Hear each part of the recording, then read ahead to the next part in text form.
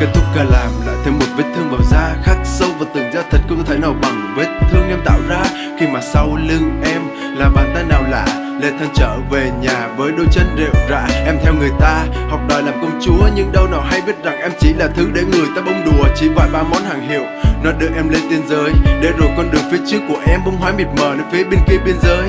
Em ơi, cuộc đời đâu có gì là cho không? Vậy tại sao em vẫn cứ hoài mơ mộng vào những thứ viễn vông? Cho đến khi mọi thứ em có bóng hoa ác mộng, thân xác hoang tàn, em giờ chỉ còn lại vẻ vô hồn của một cái xác sống.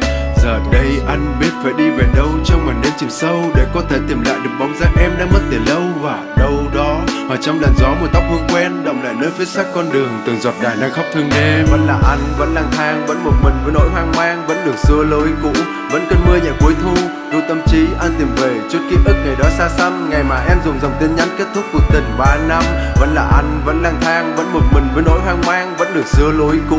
Vẫn cơn mưa nhẹ cuối thu ru tâm trí, anh tìm về chút ký ức ngày đó xa xăm. Ngày mà em dùng dòng tin nhắn kết thúc cuộc tình ba năm.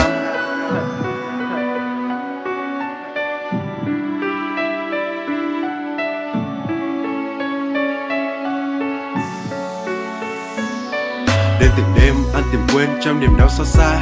Đêm từng đêm ăn chờ em bao mùa thu đã qua.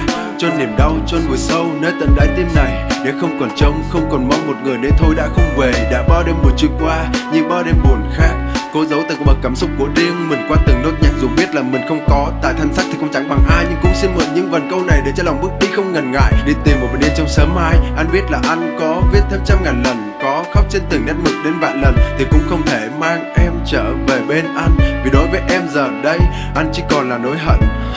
Hận vì anh đã qua vô tâm. Hận vì yêu em nhưng chỉ có thể nhìn em khóc trong lặng thầm. Hận vì không thể che chở, Không thể là chỗ dựa cho em.